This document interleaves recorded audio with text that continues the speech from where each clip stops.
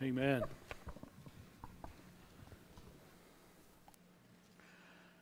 How many of you believe in the God of impossibilities? Well, you know, the Bible says that He is in Luke chapter 1, that there's nothing impossible for God. But I'll be honest, in my Christian life, there's been many times I doubted that.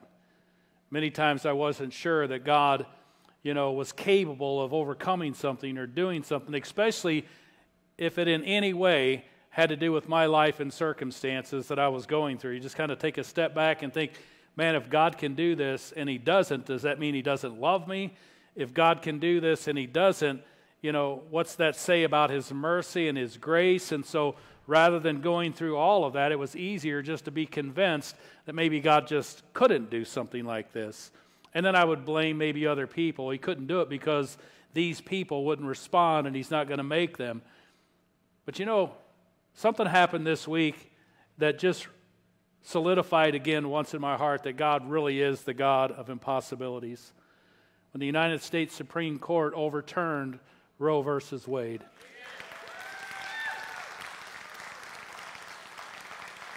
Fifty years we've been waiting. Fifty years people have been praying. And in an instant, God can take something that seems so impossible and make it possible. Isn't that amazing? To know that, that we live in a, a, a time when God is, is so willing to reveal himself, to show himself, to convince us that he is still on his throne, and in spite of what others may think, he's still in control. Let's pray. God in heaven, we thank you so much for just your amazing display of power. God, you work through the affairs of men all the time, and you're doing things that, that may seem impossible to us. You're, you're waiting, and your timing is so perfect, God, that you can, in the, the midst of maybe some of the darkest times of our history as a nation, just flip the switch. And instantly the light comes on, and we can see that, that we have a great, merciful, holy God. And Lord, I pray that in our lives as we work through today's message and you know the next several weeks as we look at, at the Beatitudes, that we would be reminded that we have a God that is always at work. You're always doing the impossible in our lives, even when we don't see it, even when we don't expect it. And God, today I, I pray as we work through something so difficult for all of us, a, a subject that we don't even like talking about. And yet, you can bring peace and joy. You can bring happiness in the midst of this. And so today we give you this time and we ask that you bless your children in Jesus' name. Amen. As you go throughout this week, especially after all that we've experienced in the light of what we have seen God do, and you're trying to decide what the most important thing you need to do to stay in a right relationship with God, I want to encourage you just to remember to keep the main thing the main thing. I mean, those moments when you're giving up hope, when you're, you're you know, maybe coming to the end of something where you're just going to resign to the fact this is the way life's going to be, it's never going to be any, any different, it's never going to be any better, and you're kind of giving up on the idea that God is a God of impossibilities, if you'll just remember to keep the main thing the main thing, and Jesus said in Matthew 22 37 that that is to love Him with all your heart, soul, and mind, you may very well find yourself face to face with a God of impossibilities, a God who can overcome circumstances in the blink of an eye. As we continue our series, Eight Ways to Be Happy, and we look at the eight Beatitudes of Jesus' Sermon on the Mount, so far we've talked about the happiness, believe it or not, that is found in our dependency on God. Jesus said, Blessed are the poor in spirit. Oh, how happy are those who depend on God. Now, last week we began to look at the second beatitude from Matthew 5 4, where Jesus says, Blessed, or oh, how happy, are those who mourn, for they will be comforted. And although it's a little difficult to kind of get your mind wrapped around the idea that the way to be blessed is to mourn, or the way to be happy is to be sad. We did learn that it's true in spite of what we may have experienced. God blesses those who mourn. Listen, He blesses those who mourn especially if we are able to invite God into our pain and into our grief. Sometimes we're so angry, sometimes we're so frustrated with God that He even allowed these circumstances in our life that we kind of turn our back on Him. We're not only not inviting Him into that pain or into that grief, many times we're actually blaming Him for it. God, you could have, uh, you could have, uh, you know, helped us avoid this. You could have prevented this from happening in the first place. And so you kind of have to take some responsibility for this, right, God? And so we don't invite God into our pain. We don't invite Him into our grief. And so therefore we have to just kind of wallow in it. And that's exactly what we do. But God says, I will bless those who mourn. I'll bless those who grieve. I'll make them happy. But the only way that God can make you happy is if you invite Him into that pain, if you invite Him into that grief. When you do, He promises, I'll comfort you. God blesses a broken heart, He makes us happy. And the Bible says that God does that by drawing us close to Himself. We talked about that, you know, last week. It's like a father, you know, drawing his child close to himself when he was hurt, when he was suffering. He comforts us and gives us hope, and then he grieves with us. In other words, he's not unsympathetic to our pain or our problems. And he gives us a church family for support. Those were the first three of the six ways that I believe God blesses and comforts a broken heart. Next is number four God uses, think about this, he uses grief to help us grow. Now, most of you, whether you understand it or not, you actually believe this because you've experienced it. He does it in three ways, and I want to share three verses with you to kind of illustrate the three different ways because I think it's important that you take God's word and build a foundation, you know, for you to kind of have a, a, a deep understanding of what God wants to do. Because once that foundation is established, you always get to go back to it. First, you know, God uses pain to get our attention. You realize that, right? C.S. Lewis wrote this God whispers to us in our pleasure, but he shouts to us in our pain. In other words, many times the pain in our life becomes God's megaphone to us. He's saying, Hey, do you hear me now? We rarely, rarely will we ever change in good times, in pleasant circumstances. Rarely will we ever change in the light. But you know what? Almost always we find change when we feel the darkness surrounding us, when we feel as though there is no escape. The Bible says this in Proverbs 20, verse 30. This might be, be one of those verses you want to write down or highlight in your bulletin. It says this Sometimes it takes a painful experience to make us change our ways. Now, anybody agree with that verse? Sometimes it takes a painful experience to make us change our ways. Trust me, pain, disappointment, and grief, those things has changed a lot of things in my life. Fact is, God uses grief to help us grow. He uses grief to help us grow by getting our attention, our attention that otherwise He would have never had. The second way He brings good out of bad is found in Romans chapter 8 28 where Paul says that we know that in all things God works for the good of those who love him. We read that verse many times, but I want you to understand these two words. He says we know. Not we guess, not we hope. He says we know. We know that in all things, not just a few things, not in, you know, just the things that, that, that we can see clearly, we know that in all things, God works for the good of those who love him. That means that every time you go through any kind of pain, it is an opportunity to grow in your character. You can't control the pain you go through. You may have chronic pain the rest of your life, and that pain may be, you know, with you for forever. You can't always control that, but you can decide whether you're going to, to, to allow it to make you bitter or better, whether you're going to allow it to be a stepping stone or a stumbling block. God is going to bring good out of bad. And so imagine whatever's going on in your life right now. Maybe some of you walked in here and your stomach's been churning maybe for weeks. And you know either something's coming or something is going on right now. And it overwhelms you. If you can just take the Word of God and begin to build on that as a foundation of your faith, go back to what Paul wrote in Romans chapter 8, verse 28. And tell yourself that over and over if you have to. I know that in all things, not just a few things, but even in, in what I'm feeling and experiencing right now, I know that in all things, God's going to work this out. Somehow He's going to make something good come out of this. I don't know how.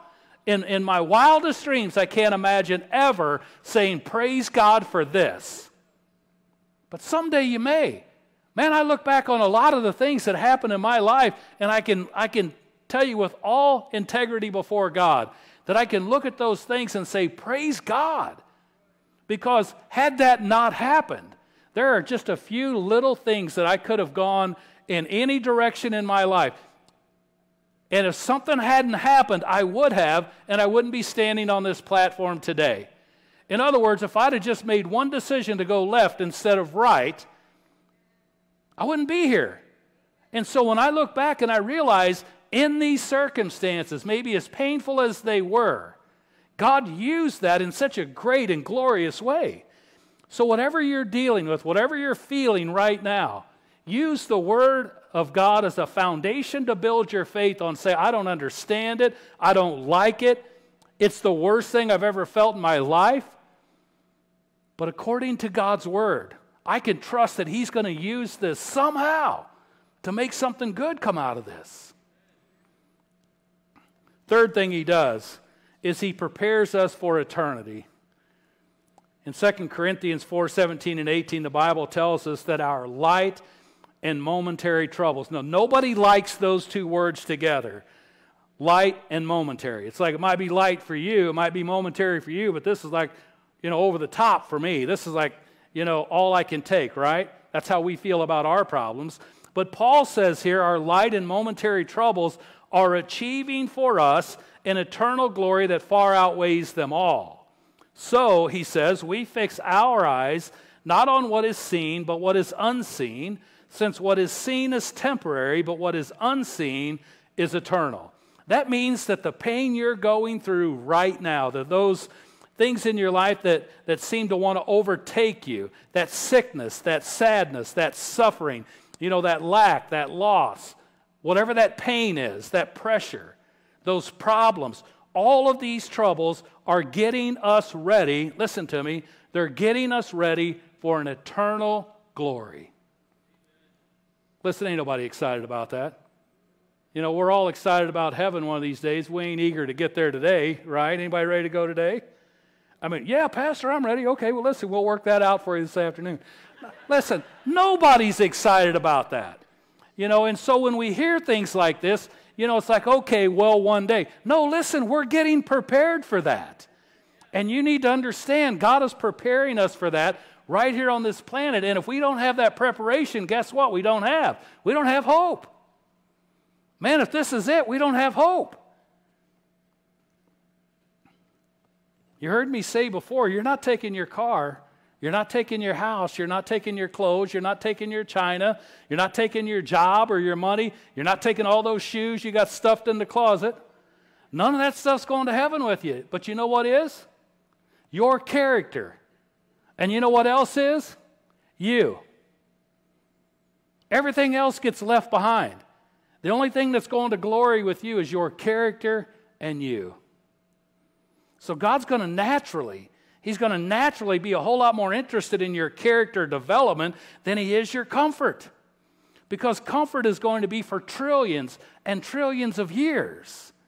This, right now, the life you're living, the struggles that you're having, this is the get ready stage. This is the learning stage. This is the warm up stage.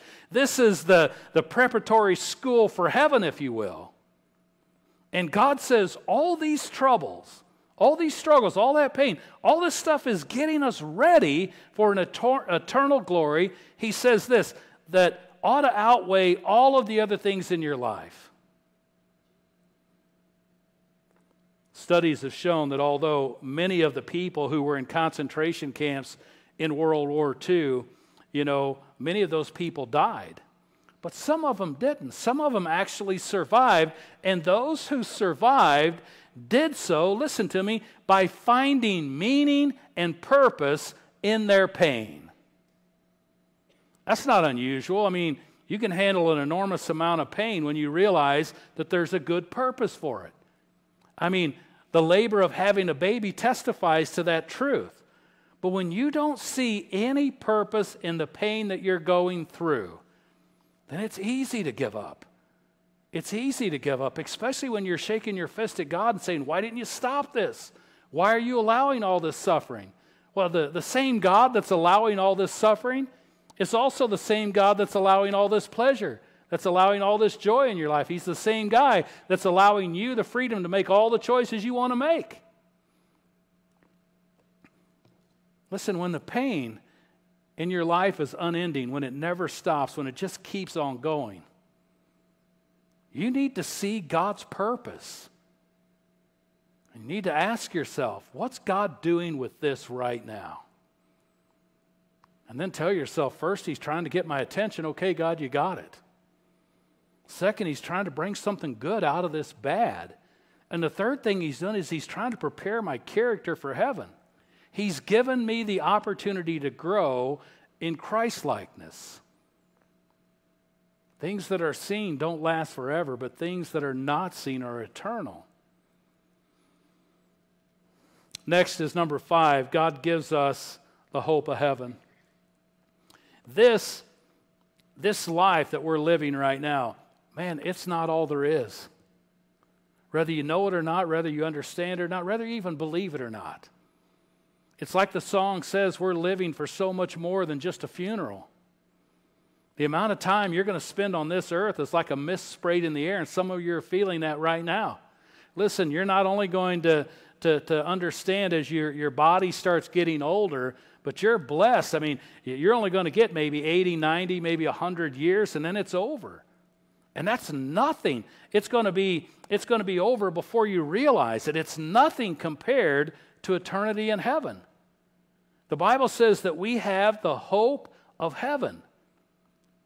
And if there was no hope of heaven, I would have nothing but hopelessness. Because listen, there's just too much bad in this world. There's too much bitterness and anger in this world. But the fact is, 1 Thessalonians 4:13 says this. He's talking about believers who died. Paul says, "We don't want you to be ignorant about believers who have died. We don't want you to grieve like the people who have no hope." Did you notice that phrase? People who have no hope. Paul says, We don't want you to grieve like that. What you understand, there, there's something so much more for you.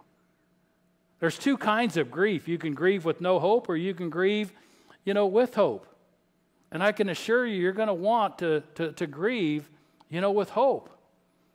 I told you last week as a pastor, I don't know how many funerals I've done. I really don't, more than I could, I, I, care to, to, to count. Very first funeral I ever did as a brand new pastor, I was in my early 20s. Very first funeral I ever did was a, a mother and father who killed their child. Talk about getting your teeth cut on the very first funeral. It's like, I got nothing to say here. I mean, these people going to die for this? They're going to jail? I don't know. I don't know what to say right now. I mean, I was overwhelmed with that. And every funeral I've gone to since, I've been overwhelmed by them. You know, either in a good way or a negative way because death is an absolute reality for us. I don't know how many times I've stood at the bedside of somebody talking, you know, uh, about what's going to happen as they're taking their last breath. Again, more than I, I care to count or recall. I've been at the funerals of many of those people, and I've looked into the faces of family and friends who had absolutely no hope when their loved one died. I've seen the terror on their faces. I've seen the hopelessness in their eyes.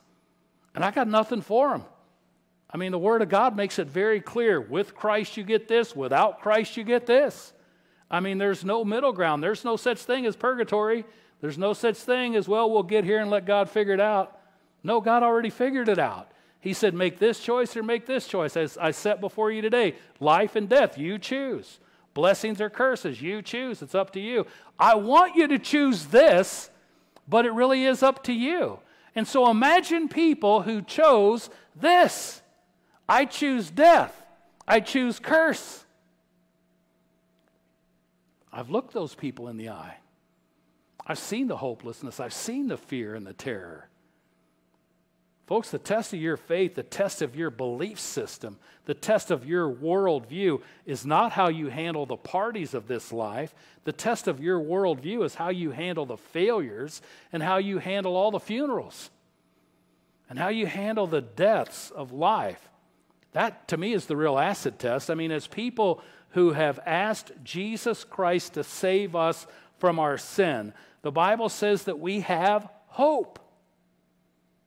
If you've asked Jesus Christ to redeem you, to save you from your sin, in other words, you admit, I've, I've made some mistakes, I've done some things wrong. It doesn't have to be, you know, the worst thing in the world, but you've done something that you know separated you from God. They call that sin, and you finally acknowledge that to God. Say, I've sinned against you, God. I ask you to forgive me for that, and you accept His forgiveness and, and you begin a relationship with Him, then you are people of hope. You have hope. So we grieve. But we grieve with an amazing hope that takes us beyond our pain. I've often wondered when a Christian dies, why do we grieve? I mean, Christians are going to heaven, they're going to that place they were made for, you know, where they're going to spend eternity. They're going where you're going to go one day if you know the Lord. So why do we grieve? Truth is, we miss them. That's why we grieve. We're not grieving them, we're grieving our loss.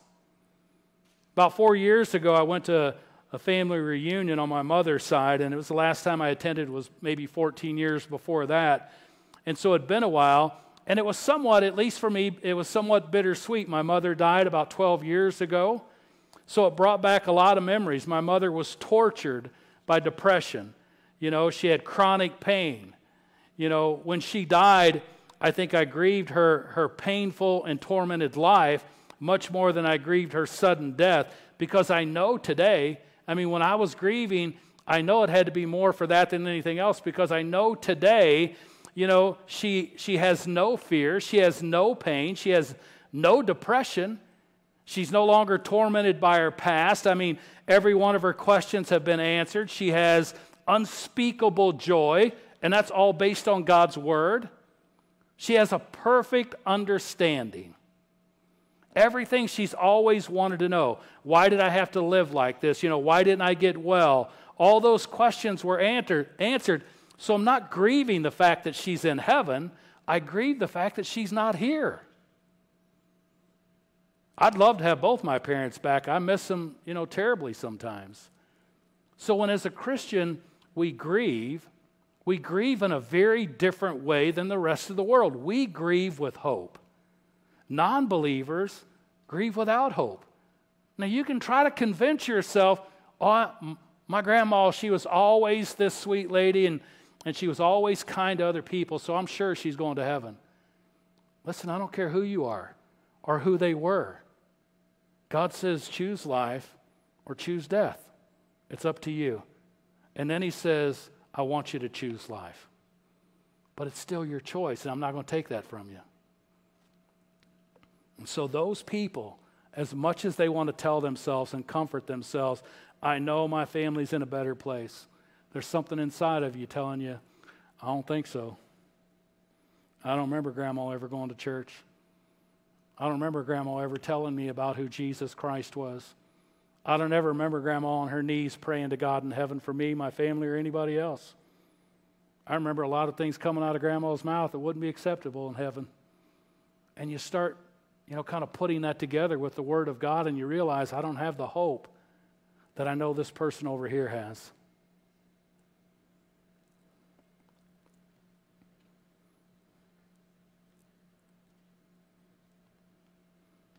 Non believers grieve without any hope. And I've seen firsthand how devastating that can be for someone. But listen to the hope that we have as Christians from Revelation chapter 21, verse 4. The Bible says, God will wipe every tear from their eyes. There will be no more death or mourning or crying, no more pain, for the old order of things will have passed away. Man, I am so looking forward to that day. I mean, it's one of the things that allows me to see people starving from poverty, to see people beat up and abused and misused. It allows me to see all the pain in this world and all of its depressing nature and still have compassion, still have emotion, still have, you know, some sort of love for people. You understand that if I didn't know that one day God is going to settle the score, that He's going to, to even the odds, that He's going to balance all these accounts, and if I didn't know and believe that one day there really is going to be a heaven, that God's going to wipe away every tear, there's going to be no more death, there's going to be no more mourning, there's going to be no more suffering, no more crying, no more pain, and that this current order of things will absolutely pass away. Folks, if I didn't know that and believe that, I think out of self preservation, salvation alone, that my love for others would grow stone cold, just like Jesus warned. Jesus said in Matthew 24 12, because of the increase of wickedness, the love of most will grow cold. Folks, the only way to keep your heart warm or warm up your cold, tired heart is to invite Jesus into your pain. Invite him into your grief. He promises to, you know, if you will, that he promises he'll comfort you and bless you, he'll make you happy. Blessed are those who mourn, for they shall be comforted. The hope of heaven is one of the six ways, you know, that God comforts a broken heart. There's one more thing, and this is a big one, and many of you are already deeply invested in this one. Number six, God uses our pain to help others. This is really important for you to understand. I mean, there is a purpose in your pain. This is what I call redemptive pain. This is the highest and the best use of the pain that you go through. God doesn't want you to waste a hurt. You know, but you know, we do it all the time because we're not willing to use it to help other people. God uses our pain to help others, and this is the highest and the best use of the pain that you've already gone through. I mean, who can better help the mother of a special needs child than another mother of a special needs child? I mean, who can better help someone who's lost a son or a daughter in a war than somebody who's lost a son or a daughter in a war? Who can better help someone who lost a limb than someone who's lost a limb? Who can better help somebody who's gone through the pain of addiction, of a failed marriage, of a molestation, or any of the other evils in this world than somebody who's already went through that? Listen, God doesn't want you to waste your hurt. He wants to redeem your hurt. And he wants to redirect your focus. Now again, let's go to God's word and and find that passage of Scripture that you can use as a foundation to build your faith on. In 2 Corinthians 1 4, Paul says this God comforts us in all our troubles so that, watch this, so that we can comfort others with the same comfort we received from God. Listen, I believe that our greatest ministry will come out of our deepest hurt. You hear what I'm telling you? I know for me personally, my greatest ministry will and has many times come out of my deepest hurts. And the same can be true of you because you can relate. You've been there, you've done that, you felt that, you believe that, you've experienced that. You, you know, many of you hid from that, and you ultimately, by the blood of Jesus Christ, you've overcome that. You can say that I had a mother who was abusive, I had a dad who was distant and left the family, I had a failure in this area or this area. Your greatest ministry may very well come out of the deepest hurts that God brings you through. Listen, we think that some of the world around us, or we think that somehow the world is impressed by how we handle our prosperity. But you know, the truth is, I really believe the world is actually so much more impressed by how we handle adversity. We think that it's our success that gives us credibility to be a witness of God, but God says, no, it's not. It's not. Our suffering gives us credibility. You would not believe the doors that have swung open wide in my life as a result of where I've come from and the many things that God has brought me through, as well as the things that God's brought our church through. We think that fame earns respect, but it's actually faithfulness in tough times. Here's the bottom line, I'll say it again. We're living in a broken world. I mean, absolutely nothing works perfectly. That means that every day you're either going to need comfort or you're going to need to comfort others. Right now, you're in one of two categories. Right now, you either need help because you're in really bad pain, you got suffering going on in your life. You walked in here this morning, your stomach is churning. You need somebody to care for you, you need somebody to, to just love you and, and have compassion on you. Or you need to help others. And maybe, just maybe, God wants you to be both at the same time. He wants you to both be in need and ready to help someone in need all at the same time. You know what that's called? Being a wounded healer. Wouldn't that make a great t shirt? Just wounded healer. That's who we are. If you wait until you're completely healed to help somebody else, guess what? You're going to be waiting a long time. Because you're never going to be fully healed of everything in your life until you get to heaven. So if you're going through a tough time right now, the Bible says comfort one another and to give each other strength. That's what the body of Christ is for. That's what the family of God is supposed to do. We're supposed to help each other. We want to help each other. God doesn't want you to carry your burdens alone. God sees us even when, you know, we feel like he's forgotten us. He sees what breaks our heart. He sees what's keeping you up at night while everybody else is sleeping. He sees those places in our hearts that are so hurt that we absolutely feel hopeless and helpless. And yet we know in His Word, we know in His Word through the promise of Isaiah 61 that He comforts all who mourn. He provides for those who grieve, and He promises to bestow on each of us a crown of beauty instead of ashes. God says to us that He would give us joy instead of mourning. So today we come together as a family. And we come with open hearts, I pray, and with open hands, asking God for healing. Healing from physical pain, healing from sickness, from disease. As I said last week, whether it be cancer or addictions, anger or bitterness.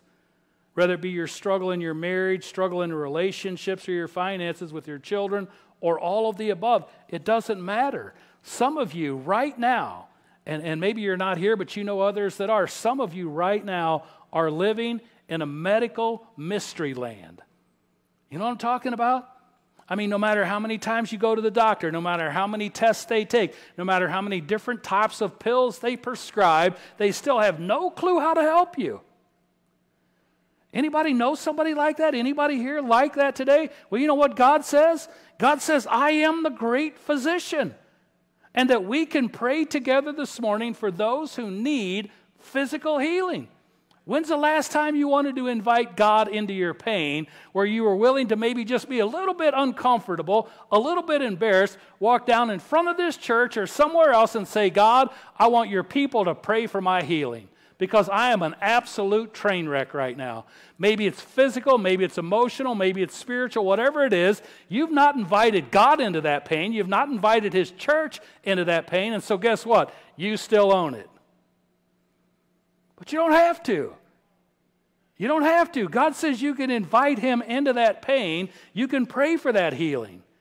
You understand? We can ask God for the wisdom we need to go through the grief that we're living in right now the kind of wisdom that goes beyond our own understanding, the kind of wisdom that gives us the strength to endure. I believe that God wants to bless, He wants to make happy, and at the same time comfort the brokenhearted. He wants to restore broken relationships and reconcile our families, our friendships, our loved ones, our spouses, our kids, the people you work with. But you got to invite him into that pain. You got to invite him into that problem. If you think, well, listen, I don't want anybody to know that my wife and I aren't getting along, I don't want anybody to know I'm mad at my kids. We just paint this smile on our face, get out of the car, and walk in and act like everything's okay when it's not. God says, Blessed, oh, how happy are those who mourn. If you can't mourn, if you can't be honest with God and His people, then you get to own this. And I'm telling you, it's not something you want to own, it's something you want to surrender over to the Lord. God wants to give us the courage we need to get through all those hard places in our lives, those places where we feel like giving up. He wants us to give us, he wants to give us a hope, you know, that depends on him. And that no matter what happens in our lives, we're still blessed by him. Let me tell you something. In all of our brokenness, if we will depend on God, if we'll be poor in spirit, if we'll invite Him into our pain, we will become living trophies of His grace. Amen? And others are going to see that we've not given up on Him and that our hope is fruitful because our hope is truly in God. One last thing before I close. We need to pray today.